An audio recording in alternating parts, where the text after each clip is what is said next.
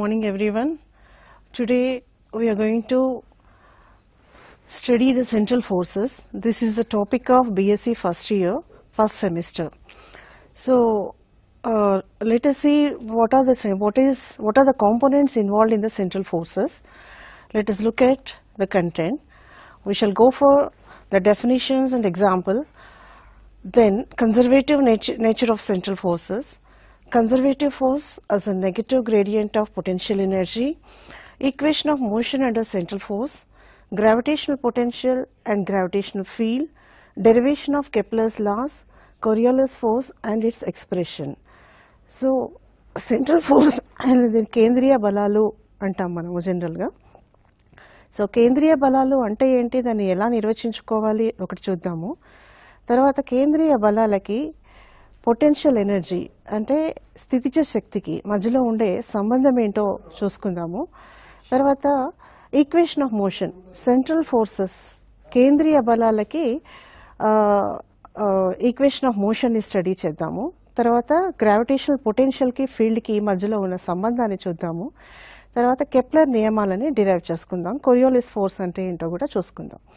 So ఇది ఒకదాని తర్వాత ఒకటి. So how to understand the central force so let us look at the definition A central force is defined as a force which always acts on a particle or a body towards or away from a fixed point and whose magnitude depends upon only the distance from the fixed point.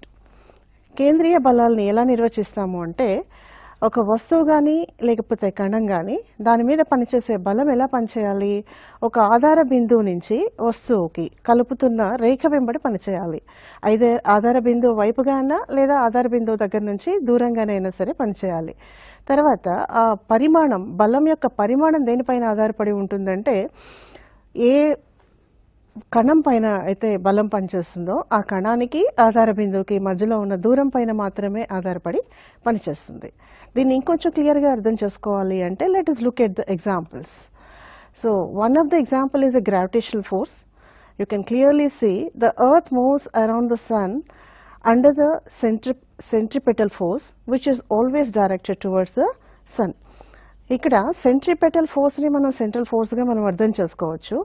If you look at the figure closely here we have the sun at the centre which is in yellow colour and the planet is moving around the son in N elliptical orbit so ఇక్కడ మనకి two lines కనిపిస్తున్నాయి one is a blue colour line which is tangential to the నెలిప్స్ the other one is a green colour line which is the centripetal force that is the central force here and if we observe the magnitude of the length of this green color line when it is approaching the sun it is increasing.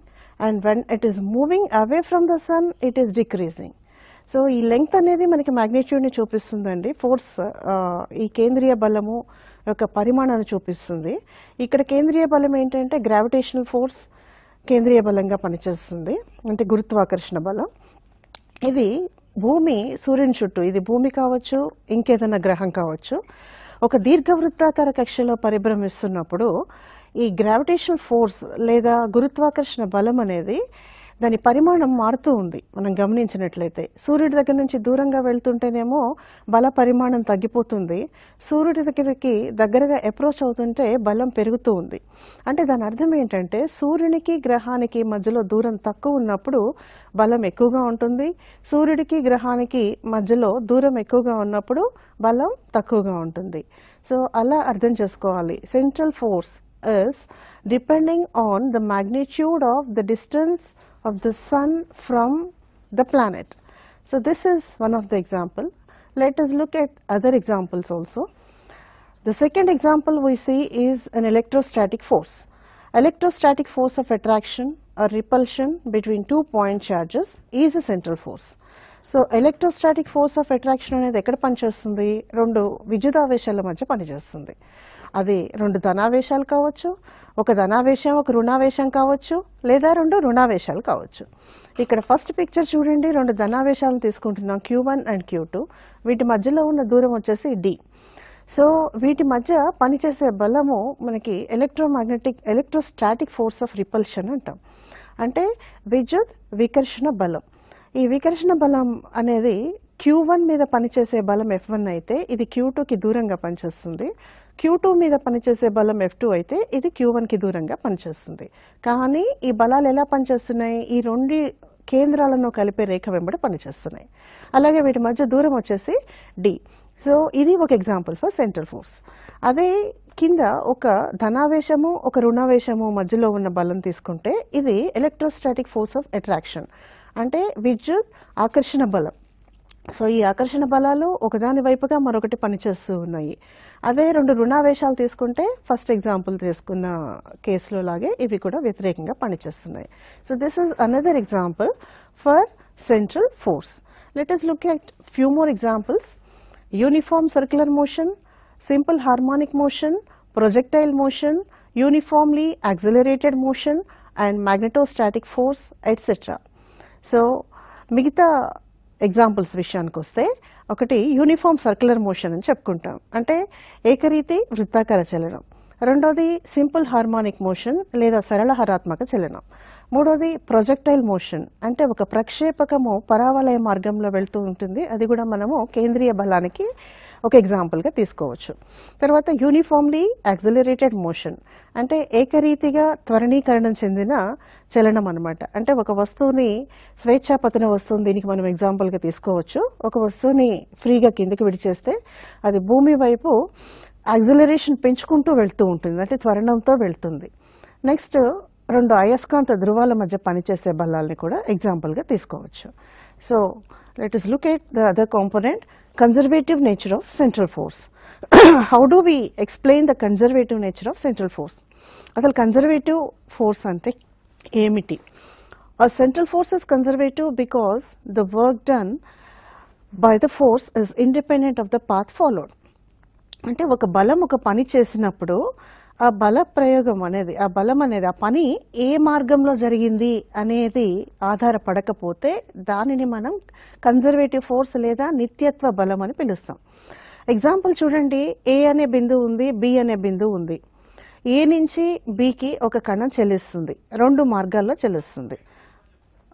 ఒకటి straight ఒకటేమో సర సరళ రేఖా మార్గంలో చెల్లిస్తుంది ఇంకోటి వక్రరేఖా మార్గంలో చెల్లిస్తుంది. ఈ రెండు మార్గాల్లో వెళ్ళినప్పటికీ కూడా ఏ నుంచి బికి కణం చెల్లించడానికి అవసరమ జరిగిన పని గనక స్థిరంగా ఉంటే ఈ బలాన్ని ఈ కన్జర్వేటివ్ ఫోర్స్ లేదా నిత్యత్వ బలం అని పిలుస్తాం. అన్ని సెంట్రల్ ఫోర్సెస్ కూడా నిత్యత్వ బలాలే. అన్ని కేంద్రీయ బలాలు కూడా నిత్యత్వ బలాలే. All central forces are conservative in nature so how do we understand this in detail look at the example in this slide we consider two points A and B. So there are two paths followed by an object. The first path is from A to B, the object is moving along this direction. And the second path, the object is moving along this direction. So the displacement is shown along a straight line. So what do we consider is, we consider a fixed point here at the origin and from this fixed point we draw two lines. One is along the direction f1 the other one is along the direction f2 let us assume in the path followed by in the first path the force is acting along the direction f1 in the second path the force is acting along the direction f2 and let us draw let us draw two arcs. One is at a distance dr the other one is at a distance d uh, this is the second one. Yeah so the first one let us say it is intersecting the first curve at the point P. The second one is intersecting at the point Q. So at the point P the direction of radius vector is dr1 at the point Q the direction of radius vector is taken as dr2 so these two arcs yeah the first arc is taken at a radius r.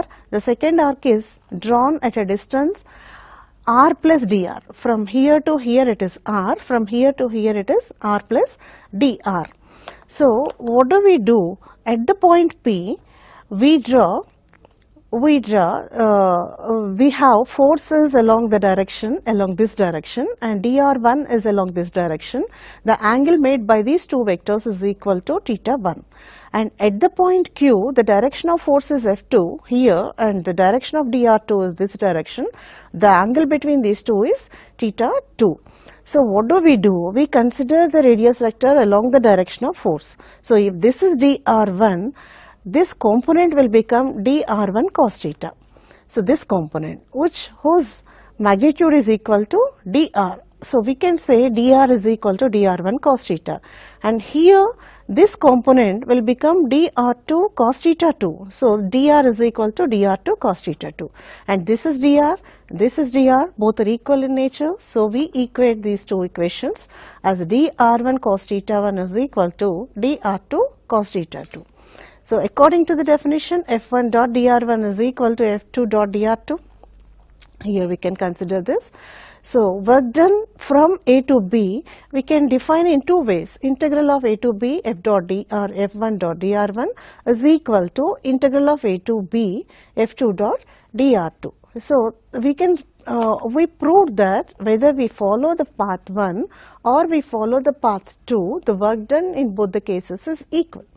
So, the work done by the force is independent of the path followed and hence the central force is a conservative force. So, this is a derivation, we, this is a proof to say that the conservative force is, uh, the central force is a conservative force. So, if we see the next component here, potential energy. Here we explain the conservative nature of potential energy and we say that conservative force is a negative gradient of potential energy. Let the amount of work done by a force Fx to displace a particle through a distance dx be dw is equal to fx dot dx. Here fx is a conservative force and dx is a small dis displacement and dw is the work done. ఇక్కడ కేంద్రీయ బలం నిత్యత్వ బలం అని అనుకుంటున్నాం కదా so ఆ కేంద్రీయ బలం మనం ఎఫెక్ట్స్ కింద తీసుకుంటే ఈ కేంద్రీయ బలం డిఎక్స్ అనే చిన్న స్థానభ్రంశం కణాన్ని చెందించడానికి జరిగిన పని డిడబ్ల్యూ అనుకుంటున్నాం. దీన్ని ఈక్వేషన్ వన్ అనుకుందాం. So but the work done is negative change of potential energy so DW is equal to minus DU DU అనేది ఇక్కడ పొటెన్షియల్ ఎనర్జీ కింద తీసుకుంటాం. This is equation two so when we equate this two we get D DU is equal to minus DW So du is equal to minus fx dot dx. Why negative? Because work is done on the system. So the energy is taken as negative. So the next component is from this we can say fx is equal to minus dou u by dou x. In a three dimensional space, the treatment is needed along y direction and z direction also. So, in a similar manner we can write fy is equal to minus dou u by dou y, fz is equal to minus dou u by dou z. Combining them in a vector form, we get f is equal to ifx plus jfy plus kfz. So, if we, if we substitute the values of fx, fy and fz, we get an equation f is equal to minus i dou u by dou x minus j dou u by dou y minus k dou u by dou z. So, uh, from this we uh, we can rewrite this expression like this. We know that the value of this operator which is there in the bracket is gradient that is del. So, f is equal to minus del u that is equal to minus grad u. So, from this we can say the conservative force is a negative gradient of potential energy. Next, equation of motion under central force. If an object is mov moving under the influence of a central force, how do we derive an equation of motion for that? Let m be the mass of a particle, x and y be its position whose polar coordinates are r and theta.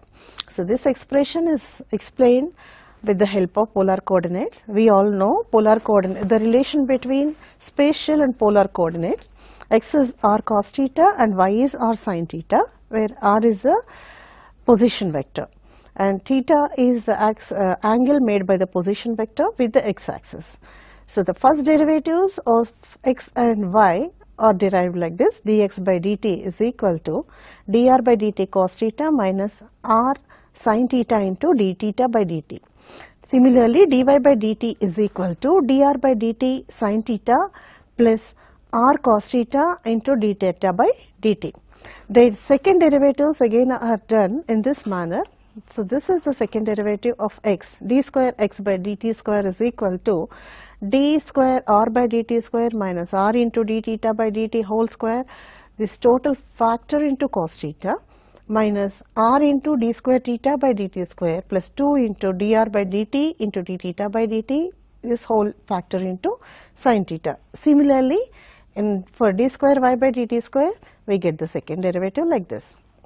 Now, how do we define the acceleration under the central force? A is equal to it has got two components because in x and y axis we should consider i into d square y by dt square plus j into d square y by dt square.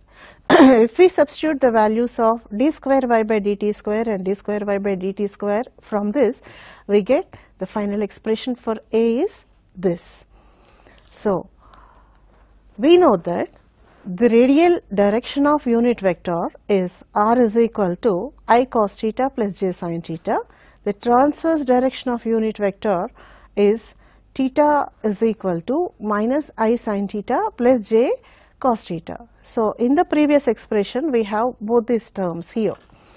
So, here i cos theta plus j sin theta is a radial component of unit vector and this is the transverse component of unit vector. Hence, they are substituted in the form of r cap and theta cap in this expression. So, this is the total acceleration acting on the particle. So, comparing this expression with our normal acceleration equation A is equal to r cap into AR plus theta cap into A theta where AR and A theta are the radial components of acceleration and transverse component of acceleration respectively we get AR is equal to d square r by dt square minus r into d theta by dt whole square. Similarly, the transverse component of acceleration is r into d square theta by dt square plus 2 into dr by dt into d theta by dt.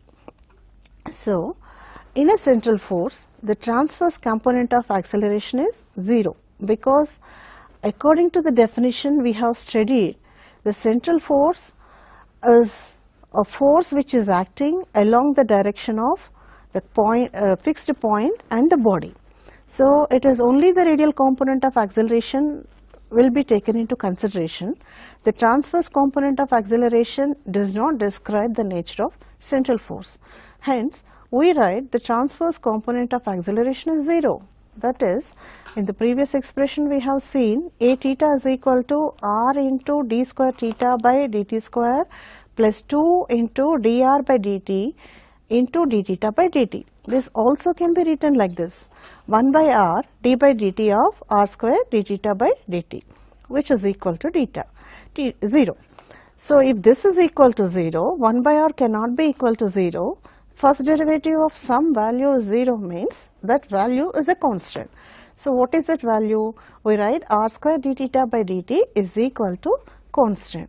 So, this constant is substituted by another value that is called h which I will show you later. So, let us consider u which is a reciprocal radius vector u is equal to 1 by r.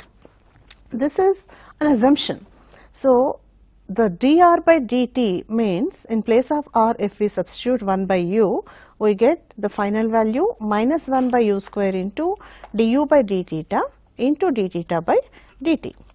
So, this value can be rewritten like this dr by dt is equal to minus r square into d theta by dt into du by dt.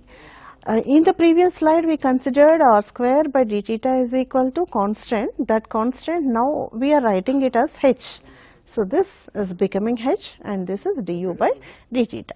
So, here we are explaining h is equal to r square d theta by dt and d theta by dt is equal to h by r square rewriting this expression like this.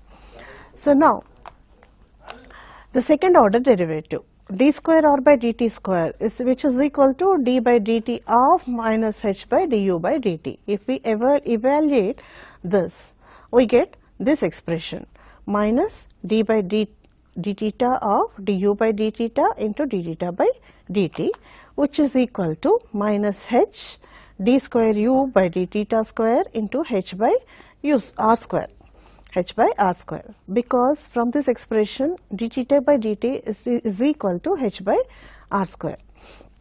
So, from this we can write d square r by dt square is equal to minus h square because h and h makes us gives us h square and 1 by r square is nothing but u square and d square u by d theta square. Let us consider this is equation 1 which is the first order derivative of dr by dt and this is equation 2 which is the second order derivative of d square um, uh, r that is d square r by dt square.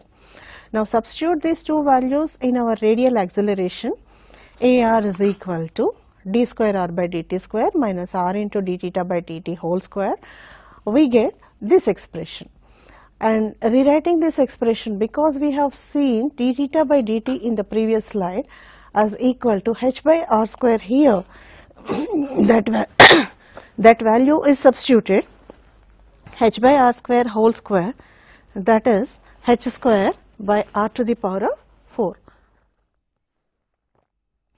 So, this AR is equal to minus h square u square into d square u by d theta square minus h square u cube. This is our radial component of acceleration. Now, the central force is a product of mass and acceleration. This acceleration is nothing but the radius radial component of acceleration.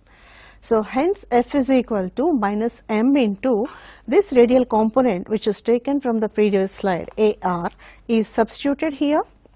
So, m into radial component of acceleration. So, this is minus and minus are getting cancelled to give a positive value. So, y minus f is equal to we have taken as a minus ma because the force is attractive. If the force is repulsive it would be plus.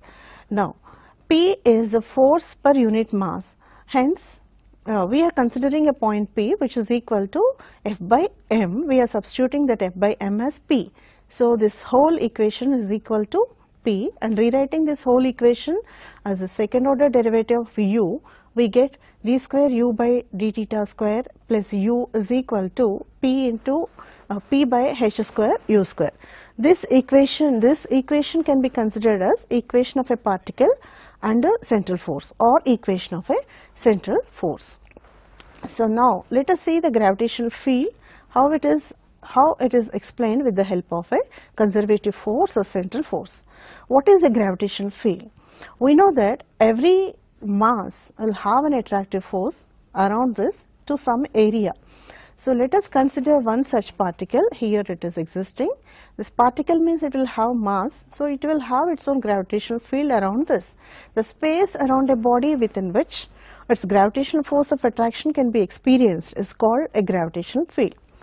ఏ కణం చుట్టూనైతే కొంత ప్రదేశం వరకు దాని గురుత్వాకర్షణ బలం పనిచేస్తుందో ఆ ప్రదేశాన్ని మనము గురుత్వ క్షేత్రము లేదా గ్రావిటేషన్ ఫీల్డ్ అని చెప్పుకుంటాం. So how do we define the gravitational potential so gravitational field is different and gravitational potential is different the gravitational potential at a point in the field is the work done in taking a unit mass from infinity to that point gravitational పొటెన్షియల్ని ఎలా define చేస్తాము? Gravitational field అంటే ఏంటి? ఒక gravitational ఫీల్డ్లో point to point మనకి potential మారొచ్చు. So అనంత దూరం నుంచి ఒక ప్రమాణ ధనావేశాన్ని మనము ఈ గురుత్వాకర్షణ క్షేత్రంలో ఒక బిందువు వరకు తీసుకురావడానికి జరిగిన పనినే మనం గ్రావిటేషనల్ ఫీల్డ్ గ్రావిటేషనల్ పొటెన్షియల్ లేదా గురుత్వ పొటెన్షియల్ అని పిలుస్తాం. సో దాన్ని ఎలా డిఫైన్ చేస్తాము? V is equal to minus GM by R So in this slide we are going to explain the variation of gravitational potential from the center of the particle. Let us consider origin is our center of the particle or the center of the potential field and this is earth. Let us consider the case of the earth. So r is the radius of the earth and the distance is considered on the x-axis and gravitational potential is taken on y-axis. So as we move from the center of the earth to the radius of the earth, the gravitational potential remains constant because there is a variation in mass and radius so it makes constant. So as we are moving away from the center of the earth, the gravitational potential is decreasing like this. So V is inversely proportional to R here. So V is equal to minus Gm by R. What is G? G is the gravitational constant, M is the mass of the earth here. So the relation between gravitational field and gravitational potential is U is equal to minus integral of F dot dr. So, uh, yeah, yeah, this is we can say in this uh, from this picture u is equal to minus integral of f dot dr. F is equal to minus dou u by dou r okay dou u by dou r we can call this as a negative gradient of potential so this is an, a relation which is establishing between gravitational force and gravitational potential we can say a force is a negative gradient of potential so this is a derivation for that. The next component here we have Kepler's laws of planetary motion. So Kepler he is a scientist belongs to the 16th century. So he was uh, uh, he was a student of um, Tycho, Brahe who were all working with the universe and its structure. They were all working with the mathematics basis. So Tycho Brahe did some calculations and these calculations were taken by Kepler and he was trying to he was trying to impose these calculations with the direct, with the motion of Mars around the sun initially. So here some points are given as a part of inspiration inspired by viewing of a great comet in 1577 he developed an interest in astronomy. So, developed by Kepler's laws of planetary motion to explain the movement of orbiting bodies, assistant of Tycho Brahe made observations of supernova. So, what did he do? He was trying to apply the calculations done by Tycho Brahe for Mars motion in thinking that Mars is moving in a circular orbit around the sun. But repeated, repeated applications shows that he is always failing. So he considered no, this orbit is not a circular in nature. We should we should uh, think of other alternatives. So finally, he concluded that orbit is not circular but elliptical in nature. Then the mathematical calculations were working good. Then he extended his study his studies for uh, the motion of different planets around the sun. Then he has given a conclusion of three laws so here there we have three laws of Kepler's motion. Let us look at the first law. This is also called the law of orbits. So here he says every planet moves around the sun in an elliptical path with the sun at one of its foci. So here in this picture we can see this is an ellipse and the, there are two focus here, focus 1 and focus 2. So the sun can be either here or here. So let us assume the sun is here. So the planet is moving in a circular, uh, in an elliptical orbit. Here we have two points here, one is a perihelion, the other one is aphelion. So perihelion is the nearest point to the sun on the orbit and aphelion is the farthest point on the sun, uh, farthest point on the orbit away from the sun. So this is the first law, every planet should move around the sun in an elliptical orbit. The second law, it is also called the law of areas. The radius vector drawn from the sun to a planet sweeps out equal areas in equal intervals of time. So, what does it say? Let us consider the planet is at the point P1 at some instant of time and in a given interval of time t it is it is moving from a point P1 to point P2. So, this radius vector is sweeping this area which is green in portion. Uh, let us calculate this area and next observation from point P3 to P4 it takes time t again. So, this blue portion is area of this particular sector. So, these two areas are equal in nature. What does it mean? The radius vector is sweeping equal areas in equal intervals of time. So, how do we understand? When the planet is nearer to the sun, it is moving faster. When the planet is away from the sun, it is moving slower.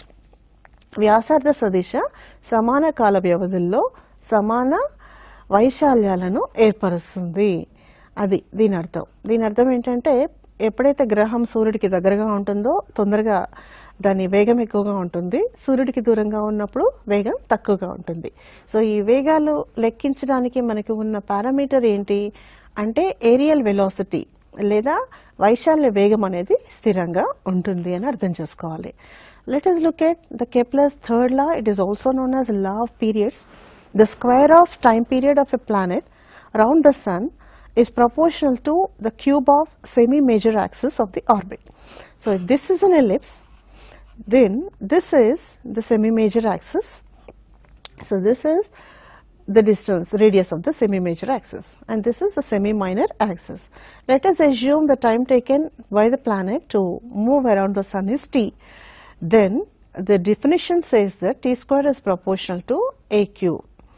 ఏదైనా గ్రహం సూర్యుడు చుట్టూ తిరిగేటప్పుడు దాని ఆవర్తన kalam, యొక్క వర్గం అనేది దాని సగటు వ్యాసార్థం యొక్క ఘనానికి అనులోమానుపాతంలో ఉంటుంది this is called Kepler's third law and now let us try to prove these laws one after the other so the derivative of derivation of the first law how do we derive So let us start our assumption from the equation of motion and under central force. So let us start our assumption from the equation of motion which we have already derived. d square u by d theta square plus u is equal to p by h square into u square where p is the force per unit mass. In the case of a gravity this is equal to gm by r square. So 1 by r is u were our previous assumption. So this is taken as gm into u square. And since g is constant and m is constant as far as the sun is concerned, so gm gives you another constant. Let us consider this constant as mu, which is equal to mu into u square. So if we substitute mu into u square here and u square u square gets cancelled, this becomes mu. So this equation is rewritten like this d square u by d theta square plus u is equal to mu h square. So this is again rewritten like this u by d theta square plus u minus mu by h square is equal to 0 and mu is a constant and h is another constant. So its derivative with respect to theta would be 0 so nothing wrong if we consider in place of u u minus mu by h square is taken. So instead of d square u by d theta square I prefer to write it as d square u by d theta square into u minus mu by h square plus u minus mu by h square is equal to 0 to get a homogeneous equation of second order. Now, this is of the form d square x by d theta square plus x is equal to 0, where x is our u minus mu by h square. So, the solution for the second order derivative is equal to x is equal to a eta minus theta naught, where a and theta naught are some constants. So, mu minus u, u minus mu by h square is equal to a cos theta minus theta naught. So, this minus mu by h square is taken to the right side and we get this expression for u mu by h square plus a into cos theta minus theta naught. This is let us consider this is some equation 4 we require it in further. So, again our u is 1 by r so that is taken and substituted here and right handed side is multiply divide this by u we get this expression. Why do we explain? Because to compare this with the equation of a conic which is 1 by r and cos. So. So, if these two add with b well is equal to h eccentricity equal to a h square by mu. The value of e equal the sum get the velocity then only well is essential to calculate value of so how do we calculate energy is taken into v because we have taken v square is taken like d plus r square into so this can be rewritten like this. Dr by dt in the previous somewhere that is substitute uh, I think I can show you somewhere it is. So here we have derived r by dt is equal by in this expression that is used in this expression. So,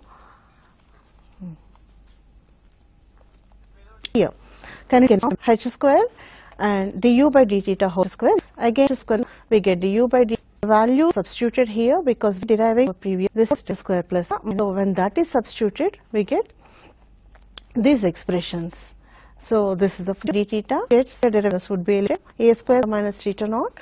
Y square is substituted here.